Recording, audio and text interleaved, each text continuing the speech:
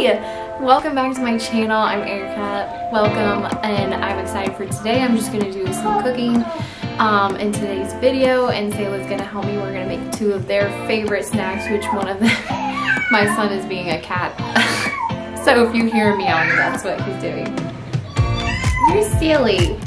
Anyways, so we're gonna cook um, two of their favorite snacks. One of them is spinach muffins, which is amazing. It's so yummy, I could even eat them. Um, and then another one of them is their favorite little animal crackers that are, you know, homemade and not as much sugar. For them, like I said, for them, I am not doing whole 30 for them. Um, but yes, sorry. He's very busy. They both just woke up from nap and then we're gonna get um, started with, um, we're gonna do some salmon patties, salmon cakes, whatever you wanna call them, with fried rice, cauliflower rice tonight for dinner. Well, I hope you enjoyed today's video. If you do, please give it a thumbs up and um, let me know if you like the, you wanna say hi to? Okay, say one side, say. Okay, there you go. You're getting so big too, huh? Well, again, if you liked today's video, give it a thumbs up so I know to create more meal prepping ideas um, that you would like. and then um, just uh, follow me along and don't forget to subscribe so you get notifications for when I have new videos coming up. Thanks for watching today, guys, and enjoy. All right, so the first thing we're gonna make um, animal crackers and the spinach muffins first. Oh no, what? Okay, you're good um, animal crackers and spinach muffins first. So what we'll do, um, you need oat flour and how I do that instead of buying oat flour because it can be very expensive, you can just get oats and blend it up in the blender. So that's what I'm going to be doing today.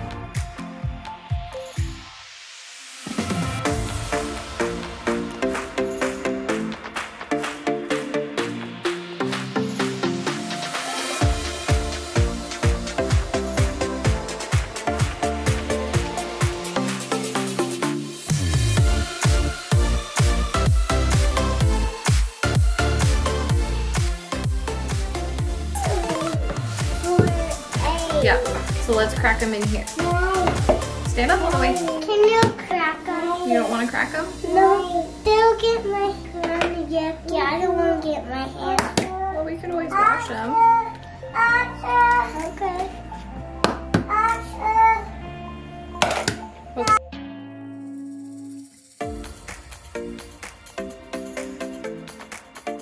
So the spinach ref- muffin recipe calls for one half cup of spinach, one banana, two large eggs, one fourth cup of oat flour, one half teaspoon of cinnamon, and one half teaspoon of baking powder. But for this recipe, I doubled it, so that's why you see four eggs and two bananas in there.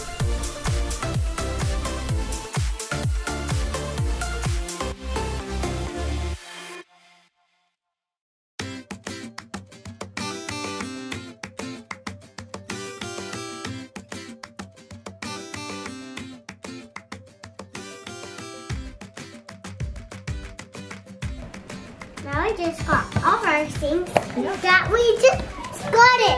So we just done it. So bye.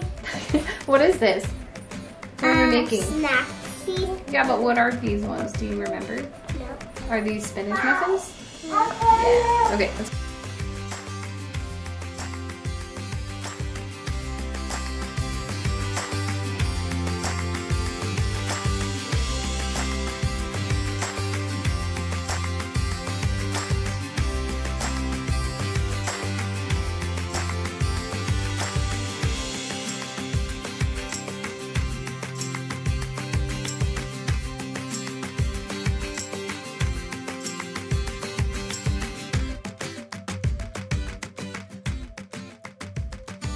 So it's empty and then it's magically full again. So I actually ended up making another batch, but I didn't double up this in this blender recipe right there. I just did one. So now we're gonna put it in the oven for about 17 minutes.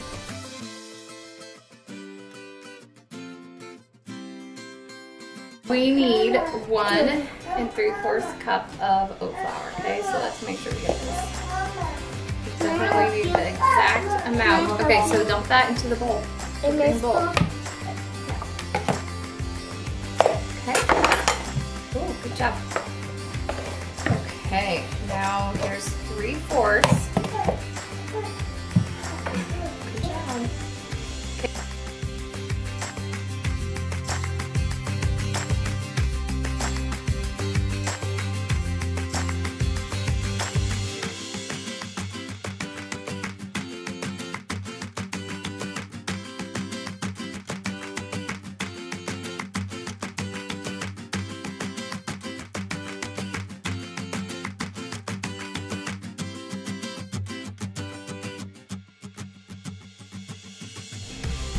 And for the animal crackers, you will need one one and three fourths cup oat flour, one half cup sweetener, one fourth teaspoon salt, one half teaspoon baking soda, one half teaspoon baking powder, one fourth cup applesauce, and one fourth cup of honey, and one teaspoon of vanilla. And so you just stir it until it forms into a ball. And you don't want it sticky so if it's sticky then you want to add more oat flour into it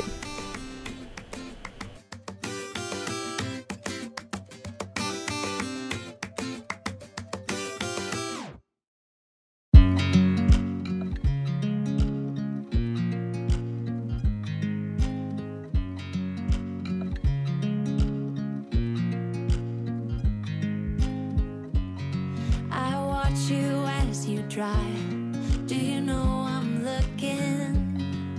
And I can't help but smile. Do you know how much I love you? You put my favorite song on. I put my feet up. And we just sing along.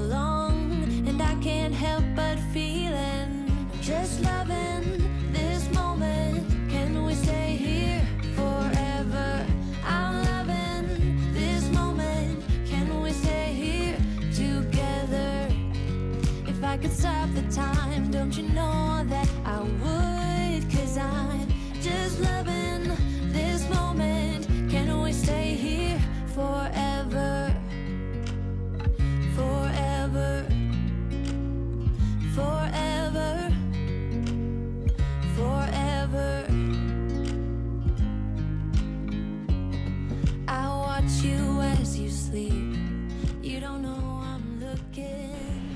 and then you roll it out um, you can do it on parchment paper. I just put flour on the counter um, and so i didn't do that. And then you can use a rolling pin or a cup. Sometimes i'll use a cup but i just use my hands to push it down. My dough was kind of sticky today so i'm not sure why um, what i did wrong there but i mean it still worked out and they turned out really cute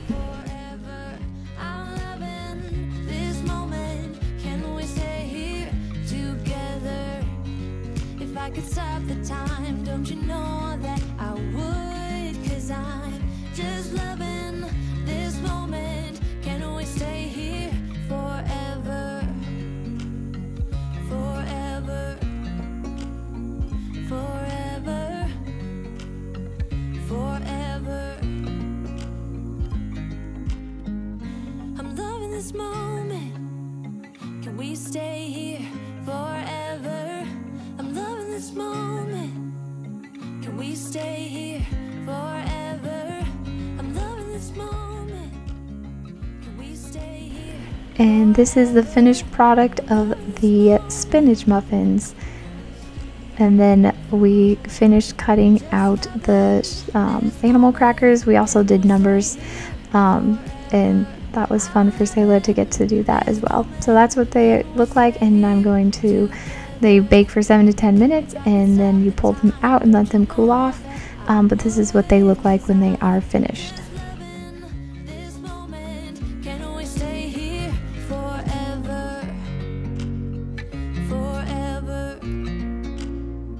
So now we have the kitchen cleaned up, the dishes done. Oh. Um, and then now we are going to cook the salmon patties for dinner tonight and the fried cauliflower as well. What are these? It's fish. I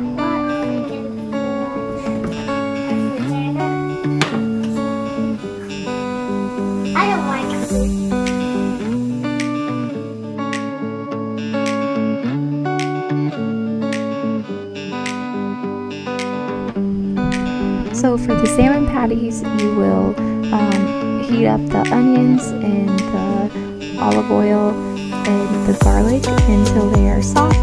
Um, and then while they are cooking and um, on the sauteing on the stove, I am mixing up the salmon cake recipe, which I used canned salmon because um, I didn't I just wasn't confident in cooking real fish and then deboning it, that just didn't sound like something I would enjoy. So um, we just used canned um, salmon and I doubled this recipe too, but I wanted to be able to freeze it and have it for lunches um, throughout this month or the next couple of months. So you'll just use um, one pound of fresh salmon or two to six ounces of salmon and then we will also use some sea salt and black pepper, um, onion and garlic which you saw me sauteing and then so I put avocado oil in the saute pan and then you will do 1 4th cup plus 2 tablespoons of almond flour. And then you optional you can do seafood seasoning. I did not use that. Um, and then you can do paleo mayo for um, in there and then you're going to do coconut, aminos, and then Dijon mustard, salt and pepper, two eggs, and then parsley. And um, it was really good. We enjoyed this recipe.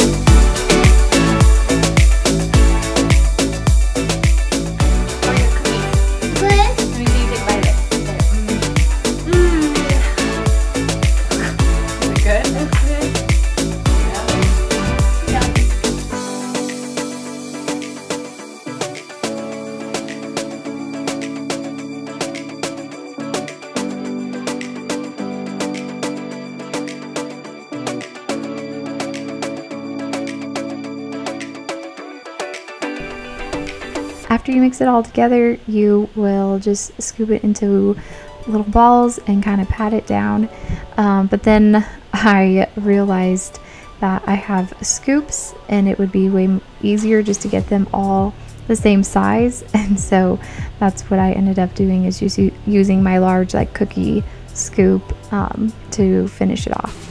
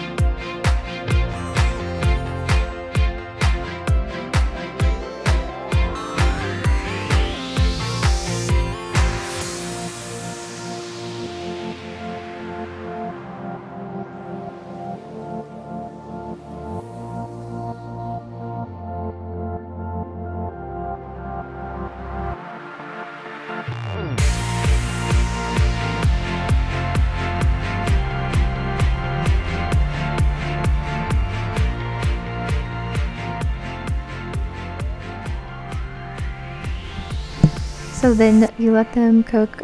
It actually cooks pretty quickly on each side.